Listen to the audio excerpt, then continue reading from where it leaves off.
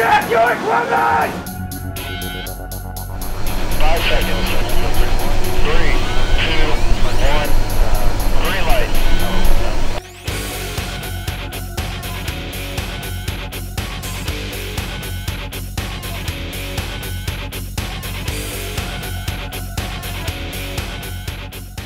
This has been a, a great week of partnership with the Air Force and uh, the Army to practice uh, doctrine in tactics, techniques, and procedures for joint forcible entry.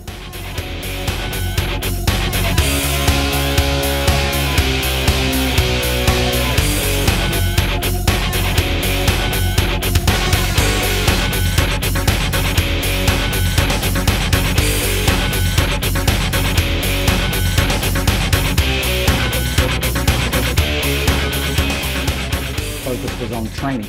And we got a lot of value-added training for the Air Force uh, as well because we need to practice uh, releasing jumpers uh, during the air land phase of an employment scenario where we land on semi-prepared uh, surfaces. We train like this so that our nation can defeat a potential aggressor and also being able to assure allies that we can come to their defense if required in a very timely manner.